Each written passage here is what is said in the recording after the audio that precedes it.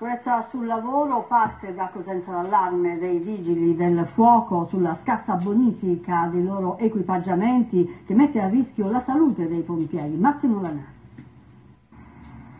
Alcuni elmi, ormai obsoleti, risalgono al 2004 e poi ci sono due giacche, due paia di pantaloni, due di guanti, un solo sottoelmo.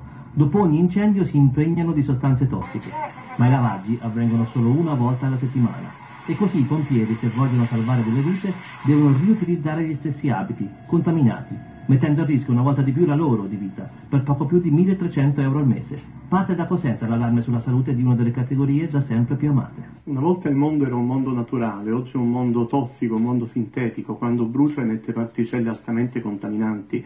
Noi abbiamo degli antifiamma, dei caschi, dei sottoelmi, dei giacconi antifiamma che poi sono quelli che usiamo sia negli interventi sia nei servizi di vigilanza a teatro e in altri posti pubblici, sono sempre quelli. In questo momento possiamo dire che possono esserci certamente comandanti che hanno delle responsabilità in questo argomento, ma possono esserci anche comandanti che sono lavoratori insieme agli altri lavoratori e come Will difendiamo tutti i lavoratori. I vigili del fuoco chiedono quindi equipaggiamenti migliori e un indennizzo aggiuntivo anche perché a Cosenza, come altrove, l'amianto brucia ancora. Basta guardare la città da un piano alto di qualunque edificio, l'amianto è ancora esistente nelle città, ci sono i tetti, basta un incendio che li coinvolga e si disperdono in aree particelle che sono altamente cancerogene.